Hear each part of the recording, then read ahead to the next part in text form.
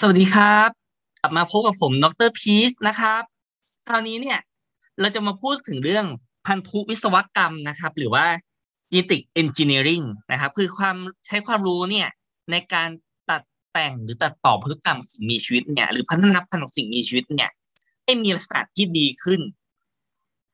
ให้ได้สิ่งมีชีวิตที่เออให้ผลผลิตมากขึ้นนะครับ เนี่ยคือเราใช้ความรู้ตรงในการตัดแต่งพันธุกรรมสิ่งมีชีวิต ถึงในระดับ DNA คราวนี้มาดูก่อนนะครับ เนี่ยเขาบอกว่าอะไรพันธุวิศวกรรมนะครับ คือความรู้ที่ได้จากการศึกษาชีววิทยาระดับโมเลกุลนะครับ หรือ molecular biology จะสามารถทำนำมาประยุกต์ใช้ในการปรับเปลี่ยนพันธุ์เคลื่อนย้ายตรวจสอบสายพันธุ์สิ่งมีชีวิตเนี่ยนะครับ หรือตรวจสอบสามพันธุกรรมสิ่งมีชีวิต DNA เนี่ยนะครับแล้วก็พันธุ์ของพันธุกรรมเช่น RNA หรือโปรตีนได้คือดัดแปลง พันธุกรรมของสิ่งมีชีวิตระดับ DNA เนี่ยให้มีพันธุกรรมที่เปลี่ยนแปลงไป และเกิดสิ่งมีชีวิตสายพันธุ์ใหม่เนี่ย ที่มีขนาดดีขึ้นกว่าเดิม เรามาดูตัวอย่างก่อนนะครับ ที่เราจากกันคือสิ่งมีชีวิตดัดแปลงพันธุกรรมนะครับหรือสิ่งมีชีวิตดัดแปลงพันธุกรรม หรือว่า genetic qualify อ่า genetic query modify organism หรือเราเรียกย่อว่า GMO ในตัวอย่างในภาพนี้ก็คือ อันแรกนะครับเป็นต้นไม้ที่มีการตัดต่อพันธุกรรมนะครับ คือตัดต่อยีนของหิ่งห้อยเนี่ยใส่ลงไปทำให้ต้นไม้เรืองแสงได้ หรืออันต่อมาเนี่ยนะครับ อันเนี้ยที่เราเห็นนะครับเนี่ยคือการตัดต่อยีนเรืองแสงหิ่งห้อยเนี่ย ใส่ลงในปลาทำให้ปลาสามารถเรืองแสงได้ ต่อมาครับหรือจะเป็นการผสมข้าวโพดหลากหลายสายพันธุ์เนี่ยอันนี้เรียกข้าวโพดพันธุ์เกมคอนเกมวอลพอย เนี่ยทำให้ข้าวโพดเนี่ย มีสีสันต่างๆ แปลกประหลาดขึ้น มีสีสันที่สวยงามดูน่ากินขึ้นแบบนี้นะครับเนี่ยก็ได้ข้าวโพดสายพันธุ์ใหม่ที่มีสัดแตกต่างไปจากเดิม หรือการตัดต่อยีนของสตรอเบอรี่เนี่ยนะครับได้มีการตัดต่อยีนจากพันธุ์ปลาน้ำลึกเนี่ยทำให้ได้สตรอเบอรี่สีน้ำเงินนะครับ หรือผสมพันธุ์สตรอเบอรี่ หลากหลายชนิดเนี่ยนะครับทำให้ได้สตรอเบอรี่สีสันต่างๆที่นอกเหนือจากสีแดงนะครับ ก็ทำให้ดูน่ากินน่าทดลองกินมากขึ้น หรือมีการทำเกี่ยวพวกเนื้อต่างๆเช่นลูกอ๊อดสามตา ลูกอ๊อดสามตาเนี่ย ยกตัวอย่างนะครับ ก็คือมีการตัดต่อแต่งเนื้อเยื่อเนี่ยของไตข้างหนึ่งเนี่ยไว้ที่หางลูกออสเนี่ยจะสังเกตเห็นได้ มีประโยชน์อะไรครับ มีประโยชน์เช่นในอนาคตเนี่ยคนเราอายุวขาดใช่ไหมเขาอาจจะเอาว่าอายุวบางอย่างเนี่ย มาฝากหรือตัดต่อไว้ที่ แขนขาคนก่อนอย่างเงี้ยนะครับ ก่อนที่ทำไปติด ให้ใหม่ในวัดเดิมเช่นบางคนอาจจะแบบว่า มือขาดไปข้างนึงอ่าแต่ก่อนที่ร่างกายจะพร้อมเนี่ยเขาจะเอามือเนี่ยไปต่อไว้ที่ขาก่อนเนี่ยให้มือแบบว่าปรับสภาพอะไรก่อน แล้วเขายังมาต่อไว้ที่มือจริง ๆ ของเราเนี่ย ก็ให้มือละแล้วก็ทำให้มือเราเนี่ย สามารถใช้งานได้ดังเดิม หรือการตัดต่อพันธุกรรมจากที่เกี่ยวกับพิษแมลงป่องลงในกระหล่ำปี เป็นกระหล่ำปีพิษแมลงป่อง นี่นะครับคือเอายีนที่สามารถผลิตพิษของแมลงป่องเนี่ยใส่ลงไปใน อ่าผักกาดผักกระหล่ำอะไรเงี้ยนักเรียน อ่านะครับ ก็ทำให้ กระหล่ำเนี่ย มันมีพิษแมลงป่องอยู่ แต่ก็คงจะต้องมีการปรับไม่ให้มีอันตรายกับต่อมนุษย์ที่บริโภคเข้าไป แต่ถามว่าตัดต่อไปทำไมมีประโยชน์ยังไง ก็คือทำให้กระหล่ำเนี่ย สามารถป้องกันทนทานต่อพวกแมลงต่างที่จะมากัดกินได้คือแมลงกินไปก็ตายหรือว่าไม่กล้ากัดกินกระหล่ำชนิดเพราะมันมีพิษอยู่อะไรแบบนี้ หรือการ ตัดต่อยีนของวัวนะครับ เช่นการทำวัวเนี่ย ให้สามารถผลิตน้ำนมคนได้นะครับ คือตัดต่อยีนผลิตน้ำนมของคนเนี่ยเข้าไปในวัวทำให้น้ำนมของวัวที่ออกมาเนี่ยนะครับ ให้ได้วัวสายพันธุ์นี้ที่สามารถผลิตน้ำนมมาที่มีคุณภาพเหมือนกับน้ำนมคนได้ อีกหน่อยแบบผู้หญิงเนี่ย ไม่อยากให้นมลูกใช่ไหมก็อาจจะให้ลูกเนี่ยกินนมจากวัวนี่แทนหรือแบบนี้ ก็เท่ากับได้โปรตีนในสัดส่วนเหมือนกันน้ำนมคนเหมือนกันนี่ต้น นะครับ คราวนี้มาดูประโยชน์ของเทคโนโลยีชีวภาพนะครับ อันนี้นั่นวิศวะพันธุกรรมเนี่ยครับก็จะไปโยงถึงเรื่องเทคโนโลยีชีวภาพนี่คือการเทเทคโนโลยีเนี่ยในการปรับปรุงผังสิ่งมีชีวิตเนี่ยนะครับทั้งสองเรื่องนี้ที่มีความคล้ายคลึงกันนะครับ ประโยชน์อย่างแรกคือด้านการเกษตรเนี่ยก็คือขยายพันธุ์ปรับปรุงพันธุ์ของสัตว์และพืช โดยใช้เทคนิคต่างๆ จะมีการคัดเลือกพันธุ์ผสม การโคลนิ่ง การพอลิงเนื้อเยื่อการใช้พันธุวิศวกรรม และการฝักไข่ตัวอ่อนนี่นะครับเทคโนโลยีชีวภาพนะครับ มาดูอันแรกก่อนนะครับอ่าโอ้นะครับ เมื่อกี้นี้เนี่ยอันทุวิศวกรรมมันจะมีการตัดต่อพันธุกรรมที่ได้สิ่งมีสายพันธุ์ใหม่นะครับ แต่นี่จะแค่ใช้เทคโนโลยีเนี่ยทำให้ได้สิ่งมีชีวิตที่มีสัตว์ต่างจากเดิม หรือทำให้ขยายพันธุ์ที่มากขึ้น เช่นการพลิงเนื้อเยื่ออะไรเงี้ย นักเรียนนะครับ หรือมีกระบวนการทำต่างให้บอกว่า เช่นอาจจะทำให้ทุเรียนไร้เมล็ดอะไรอย่างนี้ เห็นไหมทุเรียนไร้หนามอะไรก็ว่าไปนะครับ แต่ในภาพนี้ก็แบบ อืมไม่รู้ทำมาทำไมเนี่ย กลายว่าทำให้แตงโมมีเปลือกหนาขึ้นกว่าเดิม เห็นไหม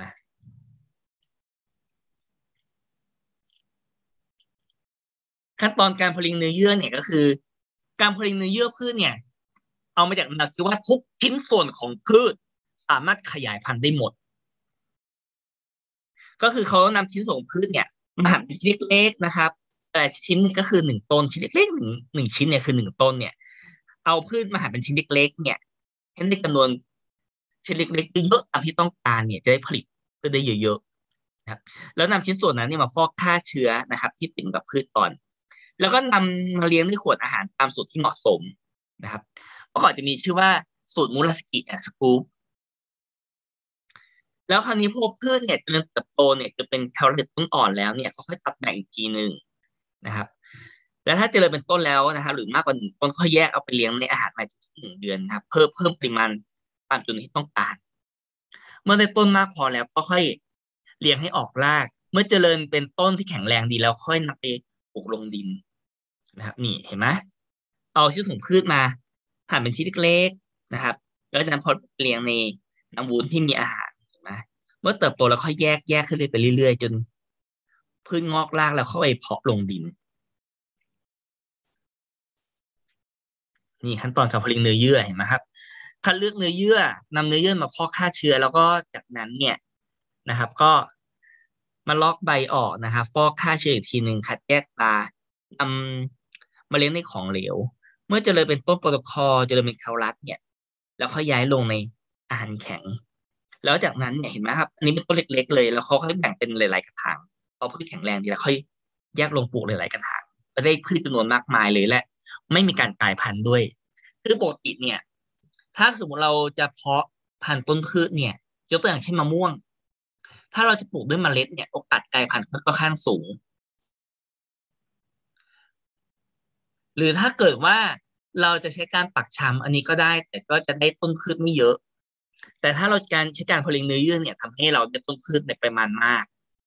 แล้วก็โอกาสกลายพันธุ์มีน้อยด้วย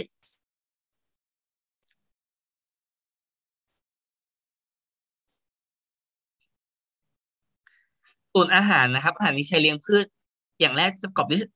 ประกอบตามนี้ อันแรกคือสารอินทรีย์ที่เป็นพวกน้ำตาลวิตามินกรดอะมิโนเอนไซม์สารเร่งการเจริญเติบโต ออกซิเดชันไซโตไคนินพวกนี้นะครับเนี่ยก็เป็นฮอร์โมนที่ช่วยเกี่ยวเรื่องการแบ่งเซลล์ของพืชนะครับ การขยายขนาดของเซลล์ทำให้มีการเปลี่ยนรูปร่างของเซลล์ไปทำหน้าที่เฉพาะอย่างเช่นส่วนนี้เป็นลำต้นส่วนนี้เป็นใบอะไรแบบนี้นะครับ คราวนี้ เรามาดูต่อนะครับ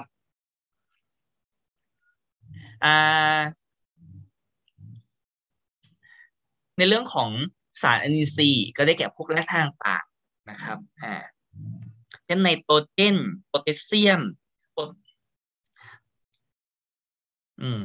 อะไรพวกนี้นะครับฟอสฟอรัสในพวกเนี้ยนี้ตัวอย่างเขาผลิตในเยอะส่วนใหญ่เขาใช้ในกลุ่มต้นไม้ค่อนข้างเยอะ เพราะว่ากล้วยไม้เนี่ย เป็นพืชที่ต้องการ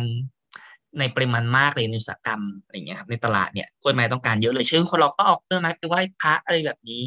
นะครับ หรือปลูกประดับตามบ้านเนี่ยเขาเลยใช้กระบวนการค่อนข้างเยอะ และป้องกันการกลายพันธุ์ได้อย่างดีแต่ต้นอื่นก็ทำได้นะบางคนเขาจะเพาะพันธุ์นี้เกี่ยวพวกอ่าต้นพวกพืชกินแมลงอะไรเงี้ยมอข้าวมอแกงลิงนี้เขาก็ทำมาละกุหลาบหนูแบบเนี้ยเนี่ยเลี้ยงในขวดแบบนี้บางครั้งถ้าเป็นต้นกุหลาบก็มีดอกงอกออกมาแล้ว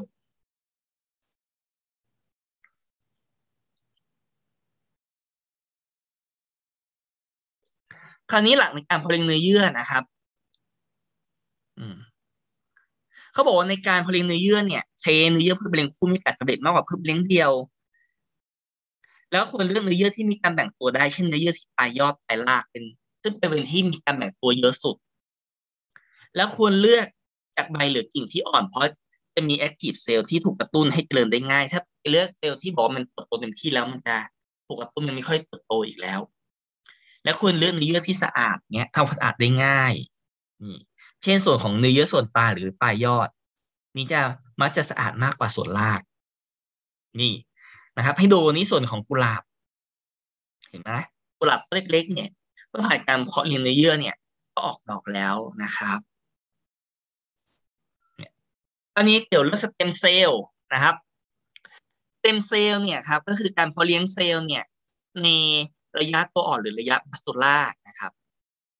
เนี่ยที่ก่อนที่มันจะเซลล์จะเปลี่ยนแปลงไปเป็นรูปร่าง ที่จะเป็นเนื้อประสาทกล้ามเนื้อเนี่ยหรือเซลล์เม็ดเลือดก่อนที่จะเปลี่ยนแปลงรูปร่างเนี่ยเขาใช้เซลล์ระยะเนี้ยเอามาใช้งานนะครับ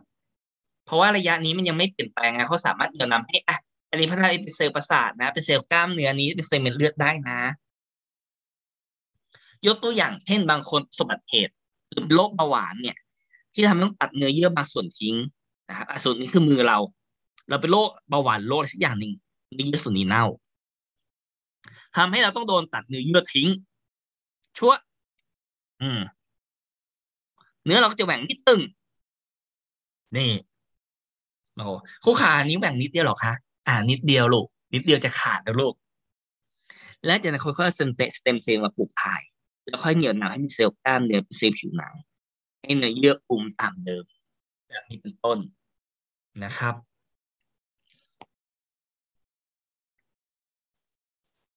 นี่โดยใช้การปรับปรุงพันธุ์ปาล์มนี่นะครับเนี่ยการผสมพันธุ์ปาล์มดูนะ เช่นต้นต้นแม่เนี่ยนะครับ เป็นพันธุ์ที่ทนต่อโรคและแมลงมากเลย แต่สังเกตตรงเนื้อนะครับ เนื้อมันน้อยจริงนะเพราะเมล็ดมันใหญ่ เนื้อน้อย เนื้อมันจริงน้อย ในเมื่อเนื้อน้อยเนี่ยมันก็เอาไปสกัดทำน้ำมันที่น้อยจริงไหมครับเนี่ยแต่มันทนต่อโรคและแมลงนะ ต่อมา พันธุ์พ่อเห็นไหมพ่อพิซิฟอร่าเห็นไหมครับเมล็ดนิดเดียวแต่เนื้อเยอะ นั้นจึงไปสกัดทำน้ำมันที่เยอะ แต่มันไม่ค่อยทนต่อโรคและแมลงถ้าเลยเอาปาล์มสองพันธุ์นี้มาสกัด เอามาผสมพันธุ์กันนะครับ ได้ปาล์มลูกมา รุ่นลูกหรือว่าแอนเทอร์เนล่าเนี่ย อันนี้เมล็ดขนาดเมล็ดก็จะเล็กกว่ารุ่น เล็กกว่าต้นแม่เห็นไหมครับ แล้วก็ แล้วก็เนื้อเยอะกว่าต้นแม่เห็นไหมครับแล้วมันทนต่อโรคและแมลงจนพอด้วยนะครับเอาเหมือนพยายามเอาข้อดีทั้งสองอย่างเนี่ย มารวมกัน นี่นี่เป็นพันธุ์ปาล์มหลากหลายสายพันธุ์นะครับเนี่ยก็น้ำมันปาล์มก็มาสกัดก็มาใช้งานได้หลายอย่างเห็นไหมครับ เป็นน้ำมันทอดอาหารผสมด้วยสีทำสบู่ทำเนยไอศครีมใส่ในไอศครีม ที่เรากินไอศครีมแล้วมีรสชาตินุ่มอร่อยเนี่ย ก็คือมีส่วนส่วนผสมของน้ำมันด้วย แล้วก็ขนมปังนี่ทำให้อบกรอบ มีรสชาติที่อร่อยหรือนุ่มลิ้นมากขึ้น หรือการผสมพันธุ์ข้าวนะครับ เช่นข้าวทนน้าท่วมกับข้าวหอมมะลิข้าวทนน้าท่วมเนี่ย มันทนน้าท่วมที่ดีแต่ไม่อร่อย ข้าวหอมมะลิ อันนี้ก็ อร่อย แต่ไม่ทนต่อน้ำท่วมเขาเลยเอามาผสมพันธุ์กันจนได้ข้าวสายพันธุ์ใหม่เป็นสายพันธุ์ F2 อันนี้อร่อยใกล้เคียงข้าวหอมลิแล้วก็ทนน้ำท่วมด้วยนี่อ่าต่อมาครับดูเรื่องการผสมเทียมการผสมเทียมคือการนำน้ำเชื้อเพศผู้มาผสมกับไข่ของเพศเมีย ซึ่งเป็นที่นิยมกันแพร่หลายก็คือ การผสมเทียมโค แพะแกะปลานี่นะครับ คือเป็นสัตว์ที่เกี่ยวกับ ด้านการเกษตรเห็นไหมและอุตสาหกรรมต่างๆ เห็นไหมครับ เกี่ยวกับปศุสัตว์ต่างๆ เนี่ยนะครับนี่ก็คือพูดง่ายคือการผสมเทียมก็คือการผสมโดยแบบไม่ต้องใส่เพศสัมพันธ์น่ะไม่ต้องอาศัยการมีเพศสัมพันธ์ก็ได้นะครับนี่การฉีดน้ำเชื้อเข้าไปในกระต่ายนี่นี่คือการเก็บน้ำเชื้อของม้านะครับม้าขึ้นขี่แล้วเขาสวมไปปุ๊บ ให้มาเปิดน้ำเชื้อเข้ากระบอกเนี่ย แล้วจากนั้นเขาค่อยเอาน้ำเชื้อเนี่ยเขาจะเอาน้ำเชื้อเนี่ยที่ได้นะครับไปเก็บไว้ในในตัวเจนเหลวที่อุณหภูมิลบร้อยเก้าสิบหกองศาเซลเซียสนะครับเย็นปุ๊บแบบเย็นทันทีชุบเชื้อนอกสลบเลย แล้วคราวนี้เวลาจะใช้เขาค่อยหยิบน้ำเชื้อบางส่วนมาละลาย แล้วก็ฉีดเข้า ไปในสัตว์ที่ต้องการผสมพ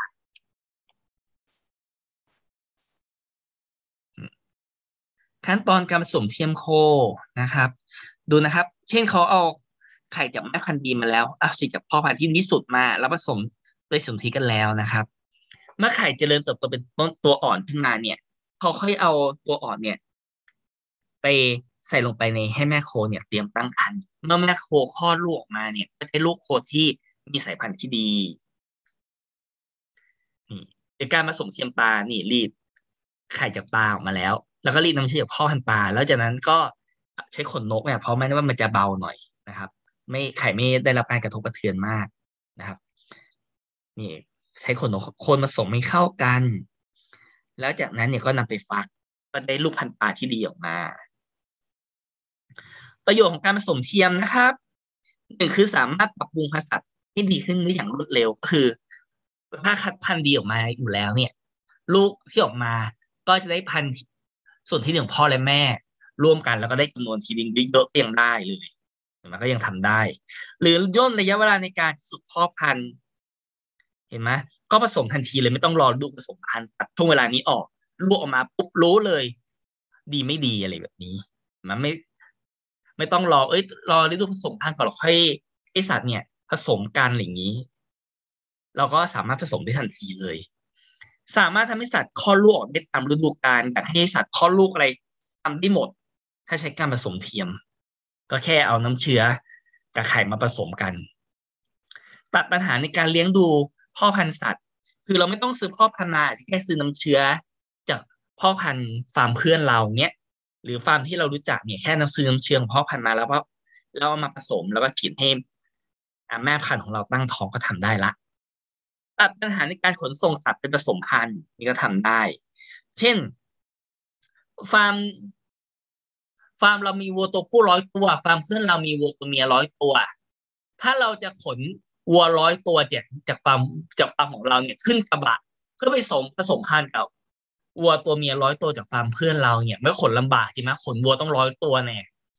แต่ว่าถ้าเราใช้การผสมเทียมเราแค่รีดน้ำเชื้อจากวัวที่ดีสุดสักตัวหนึ่งมาใส่กระบอก เล็ก เราจะเอาขึ้นรถของเราเนี่ย ฉีดให้วัวตัวเมียร้อยตัวที่ฟาร์มเพื่อนเราเนี่ย ตั้งท้องก็ทำได้แล้ว แล้วก็สามารถป้องกันโรคต่อทางที่สัมพันธ์อีกระดับหนึ่งป้องกันการโรคป้องกันโรคบาดที่เกิดจากการเคลื่อนย้ายสัตว์ผสม เห็นไหมครับ อันนี้ไม่งั้นถ้าเกิดสมมติสัตว์ติดโรคอะไรสักอย่างเวลาอยู่ใกล้กันเราเชื้อมันเกิดแพร่กระจายได้เหมือนเชื้อโควิด หรือโรคหวัดเนี่ย สัตว์ก็ติดหมดจริงไหม แต่ถ้าเราเอาไปแค่ตัวเดียวรีดน้ำเชื้อไปแถมรีดแค่น้ำเชื้อไปด้วยมันก็ป้องกันอีกระดับเลยไม่ต้องเอาตัวสัตว์ไป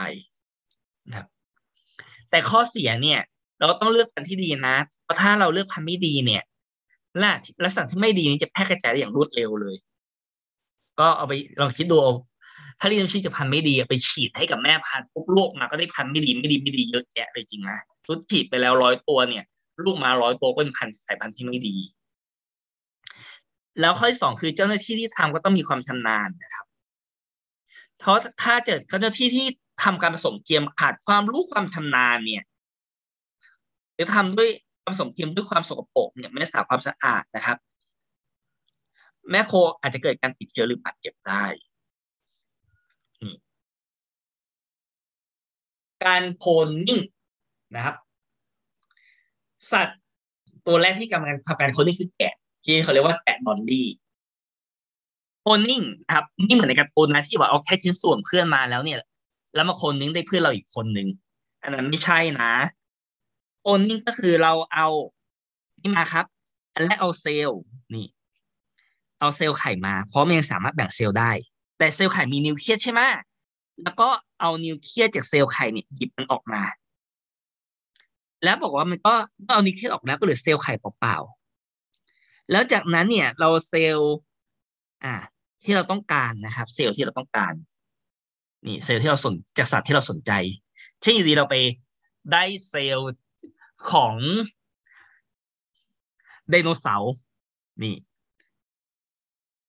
มา แต่เป็นเซลล์ร่างกายนะสมมุติได้มาเซลล์หนึ่งเนี่ย เราแค่หยิบนิวเคลียสที่มีสารพันธุกรรมของสัตว์ตัวนี้ออกมาที่เราสนใจนะครับ มาใส่ไว้ในเซลล์ไข่ที่เอานิวเคลียสออกแล้ว ก็คือเอาเซลล์เอานิวเคลียสเนี่ย ใส่ไปแทนนิวเคลียสเดิม คราวนี้ก็ได้เซลล์ใหม่นะครับได้เซลล์ไข่ใบใหม่นะครับ แต่ยังมีนิวแต่มีนิวเคลียสสารพันธุกรรมเนี่ยของสัตว์ที่เราสนใจจากโคลนนิ่งเนี่ยอยู่ครบเลย แล้วเซลล์ไข่มันสามารถแบ่งเซลล์เรื่อยๆใช่ไหมครับเขาก็ไปฝากให้กับสัตว์ที่ ต้องการตั้งท้องคือฝากไว้ในสัตว์สักตัวหนึ่งอาจจะเป็นแกะหรือหมาก็ได้นะครับอ่าให้เกิดการตั้งท้องนี่ฝากเข้าไปปุ๊บอันนี้ถ้าเกิดปฏิสนธิติดเนี่ย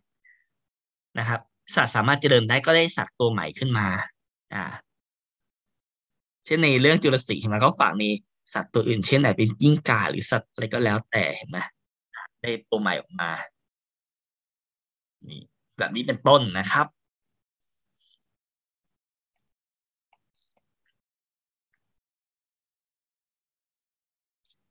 มีการฝากไข่ตัวของโคนะครับ มีนักอุตสาหกรรมก็สามารถเพิ่มผลผลิตทางการเกษตรได้ หรือการใช้จุลินทรีย์ปรับปรุงสายพันธุ์ปรุงจุลินทรีย์เป็นต้นนะครับด้านอาหารคือได้ผลพลอยได้จากเกษตรกรรมและอุตสาหกรรมด้านการแพทย์นะครับ นี่เช่นผลิตฮอร์โมนหรือวัคซีน วิตามินยาปฏิชีวนะที่มีคุณภาพได้ หรือตรวจสอบสภาวะพฤติกรรมของโรคต่างๆได้ หรือแก้ไขภาวะผิดปกติ และสารโรคต่างๆที่ถ่ายทอดทางพันธุกรรมได้นะครับนี่อืมครับ หรือทำแผนผ้าแผนแผนที่หรือสารที่ยีน หรือยีนอ่าบำบัดได้นะครับคราวนี้มาดูเรื่องการโคนยีนโดยใส่พลาสมิดของแบคทีเรียบ้างนะครับ คืองี้ อ่า คุณยกตัวอย่างนี้ก่อน คือสมัยก่อนเนี่ย คนจะเริ่มเป็นโรคเบาหวานนะครับ แต่สมัยนี้ก็เยอะเยอะกว่าสมัยก่อนแล้วล่ะนะครับ คือโรคเบาหวานเนี่ยเกิดจากร่างกายเนี่ยไม่สามารถผลิตอินซูลินได้หรือผลิตมาก็ใช้ไม่ได้นะครับ คราวนี้ในกรณีที่ร่างกายไม่สามารถผลิตอินซูลินได้เนี่ยนะครับก็ก็ต้องทำการฉีดอินซูลินเข้าไป โดยอินซูลินเนี่ยเมื่อก่อนเนี่ย มันจะผลิตออกมาจากตับอ่อนของหมู แต่ตอนหลังเนี่ยคอมมินุเบาหวานมันเยอะขึ้นเนี่ยทำให้ผลิตอินซูลินเนี่ยได้ไม่เพียงพอ เขาเลยหาวิธีใหม่ ปรากฏว่าเขาไปค้นพบเนี่ยแบคทีเรียชนิดหนึ่งที่มันแบ่งตัวเร็วเขาเลยคิดว่าเอ๊ะจะทำไงให้แบคทีเรียชนิดนี้มันสามารถผลิตอินซูลินได้ ถ้าแบคทีเรียแบ่งตัวเร็วก็แบคทีเรียแบ่งตัวได้เป็นพันล้านเซลล์เนี่ยมันก็ผลิตอินซูลินได้เพียบเลยจริงไหมถ้ามันเป็นที่สามารถที่เป็นสายพันธุ์ที่สามารถผลิตอินซูลินได้อะ แต่ถ้าเกิดแบ่งเซลล์เป็นพันล้านตัวโอ้โหอินซูลินเพียบเลย เขาเลยใช้วิธีนี้นะครับ มาดูกันเลย อย่างแรกครับ สมมุติเนี่ยอ่า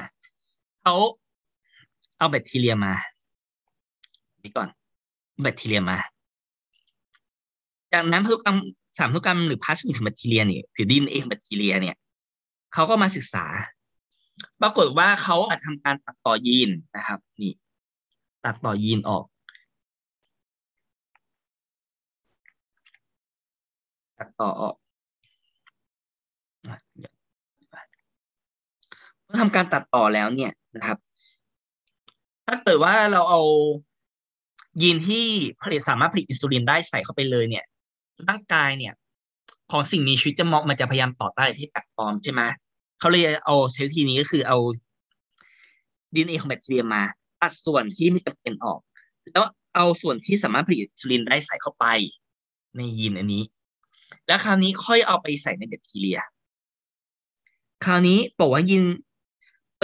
พันธุกรรมของแบคทีเรียเนี่ยก็จะมียีนที่สามารถผลิตอินซูลินได้ละนี่ก็จะได้แบคทีเรียสายพันธุ์ใหม่ ที่สามารถผลิตอินซูลินได้ละ คราวนี้พอเจ้าแบคทีเรียชนิดเนี้ย บ่งเซลล์ก็ได้แบคทีเรียสายพันธุ์ใหม่ที่สามารถผลิตอินซูลินได้เพิ่มขึ้นเห็นไหมจากหนึ่งเป็นสองจากสองเป็นสี่จากสี่เป็นแปดแบบนี้เป็นต้น นี่นี่เป็นต้นครับ นี่เห็นไหมเนี่ยดีเอที่เอามาตัดต่อคือดีเอพาหะตัดบางส่วนออกนะครับ นี่ ด้วยเอนไซม์ตัดจำเพาะนะครับ แล้วก็เอาชิ้นส่วนที่ต้องการเนี่ยใส่เข้าไป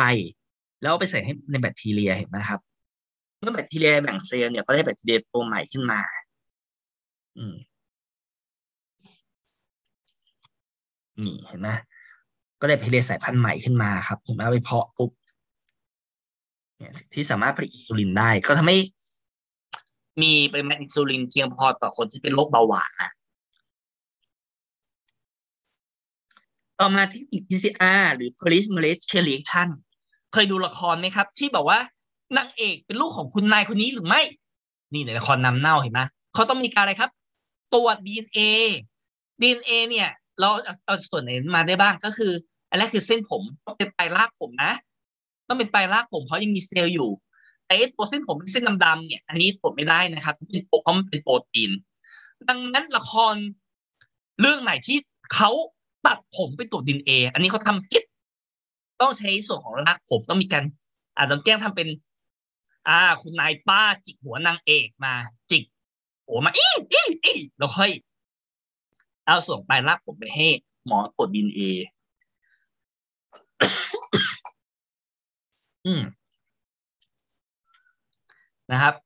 มีอะไรอีกครับ เลือดอ่าเลือดก็ตรวจดีเอ็นเอได้แต่เราใช้เม็ดเลือดขาวนะครับ เพราะมีนิวเคลียสอยู่เซลล์เม็ดเลือดแดงตรวจไม่ได้นะ เพราะไม่มีนิวเคลียสนะครับนี่คือเซลล์อะไรก็ได้ที่ใช้ตรวจดีเอ็นเอที่มัน ยังมีนิวเคลียส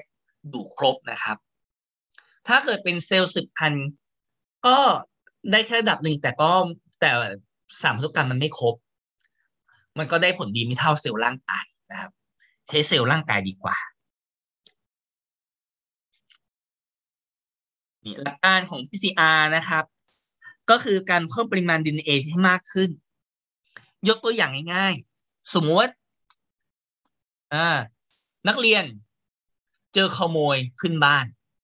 บอกขโมย คนเข้าของหมดเลยทั้งทีวี ตู้เย็นโซฟาเก้าอี้โต๊ะอะไรเงี้ยหม้อหุงข้าวเนี่ยคนปิดเกี้ยงเลย แล้วตอนเช้าเราตกใจตื่นเช้ามาอะของในบ้านหายเพียบเลยเราเลยไปแจ้งตำรวจตำรวจเลยมาตรวจคนบ้านเราว่าเอ้ยอะไรหายบ้างขโมยทิ้งร่องรอยอะไรไว้ไหมแต่ว่าเป็นโจรเนี่ยกับทำเหงื่อหยดไว้หนึ่งหยดที่บ้านเรา ต้องรู้ว่าเก็บเหงื่อหยดนั้นเนี่ยเอาไปตรวจดีเอ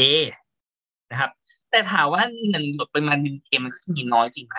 มีแค่หยดเดียวอะดีเอก็นิดเดียวเขาเลยต้องใช้หลักการ PCR คือการเพิ่ม DNA ให้มากขึ้นนะครับแบบเป็นพหูคูณจะเป็นสองจากสองเป็นสี่เงี้ยจะสี่เป็นแปดเนี่ยให้มากขึ้นจะเป็นล้านล้านเท่าเลยนะครับ นี่แบบนี้ ก็คือเขาตัวอย่างเนี่ย RDNA ที่ได้มาใส่ในหลอดพวกนี้นะครับแล้วใส่สารต่างๆลงไป แล้วจากนั้นเนี่ยเขาก็จะเข้าเครื่อง PCR แบบนี้นะครับ อ่ามาดูในภาพภาพนี้เลยก็จะมีช่วงแบบว่าดีอ่าดินดีเนจูริงอะไรอย่างเงี้ย อ่าก็คือดีเนจูริงเนี่ยก็คือ การให้ความร้อนประมาณ 90 องศาให้ดีเอแยกสายสองสเต็ปที่สองคือ annealing นี่เขาใส่พวกชิ้นส่วนดีเออิสระลงไปนะครับ ไม่มีการจำลองตัวเอง โดยเขาจะลดอุณหภูมิมาที่ 54 องศาเซลเซียส แล้วจากนั้นเขาก็จะเพิ่มอุณหภูมิเนี่ยไปที่ 72 องศาเซลเซียสให้ดีมีการจำลองตัวเองเห็นไหมจากหนึ่งสายนะครับ ก็จะเป็นสองสายละ นี่คือหนึ่งรอบนะจากหนึ่งเป็นสองรอบที่สองคือจากสองเป็นสี่รอบที่สามจากสี่เป็นแปดรอบที่สี่จากแปดเป็นสิบหกเนี่ย แต่นี้ลอยลอยรอบเนี่ยเลยเพิ่มขึ้นหลายเท่าตัวเลยนะครับ อืมจะบอกว่าช่วงโควิดเนี่ยในการตรวจ ในการตรวจโควิดที่เรียกว่าการตรวจสอบโดยการใช้กระบวนการ PCR ก็แบบนี้เหมือนกันครับไม่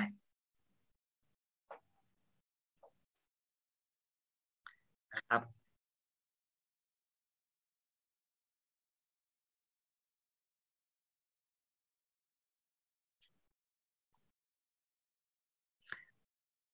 นะครับยิ่งใช้ดีใช้กระบวนการ PCR หลายรอบเนี่ยเห็นไหมครับ สามพันธุกรรมก็เพิ่มขึ้น ที่บางคนบอกเอ้ยตรวจตรวจแล้วเจอเชื้อโควิดตรวจไปห้าสิบหกสิบรอบเนี่ย โดยใช้บอกว่ายิ่งบอกว่า เจอหรือไม่มาคนร้อยรอบเจอมันก็ ถ้าเกิดยิ่งแสดงว่าถ้าเกิดยิ่งมีหลายรอบ ต้องใช้การตรวจการทำ PCR หลายรอบเนี่ย ก็แสดงว่ามีเชื้อโควิดน้อยนะครับ แต่บางคนเนี่ยตรวจไม่กี่รอบยี่สิบสามสิบรอบก็เจอละแต่ว่ามีรับเชื้อโควิดมาเยอะเลยแบบนี้นะครับ รือบางคนตรวจไปกี่รอบร้อยเป็นพันรอบก็ไม่เจอเลยก็คือ เราไม่มีเชื้อโควิดเลยนี่นะครับ แล้วจากนั้นเอาสารที่ผ่านการจำลองพันธุกรรมเนี่ยมันเป็นร้อยรอบแล้วก็จะมาย้อมสีนะครับ แล้วหยดลงไปในแผ่นเจลแล้วจากนั้นเขาก็ใช้ไฟฟ้าในกระตุ้นนะครับ ให้สารกันเนี่ยวิ่งไปตามแผ่นเจลแล้วเขาก็ถ่ายภาพออกมาเนี่ยนะครับ ว่าตรงไหนตรงกับแบรนด์มากสุดนะครับ ก็จะเอาดีเอตัวอย่าง เช่น เอาอันนี้เอาไว้นี่หมายเลขอันนี้ส่วนอันนี้เป็นพ่อแม่ อ่า นี่คือตัวอย่างนะครับ แล้วคนที่หนึ่งสองสามสี่ห้าหกเจ็ดอะไรเงี้ย มาเทียบดูว่าคนไหนตรงมากสุด เนี่ยนะครับ อ่า นี่ของ อันนี้ของแม่ อ่า มีพ่อแม่เห็นไหมเวลาตรวจหาว่าใครเป็นพ่อแม่ลูกกันก็ตรวจหาแบบนี้ว่าคนไหนตรงมากสุดนับก็คือคนนั้น นี่แบบนี้เป็นต้นนะครับ โอเคครับ วันนี้ครูขอฝากไว้เท่านี้นะครับ เดี๋ยวไงก็ฝากกดไลค์กดแชร์ กด subscribe นะครับ และกดกระดิ่งข้ามการแจ้งเตือนเวลามีคลิปใหม่ด้วยนะครับแล้วอยากให้ครูสอนเรื่องอะไรนะครับ ก็สามารถพิมพ์คอมเมนต์ไว้ที่ด้านล่างได้นะครับ โอเควันนี้ครูก็ขอฝากไว้เท่านี้ครับ สวัสดีครับ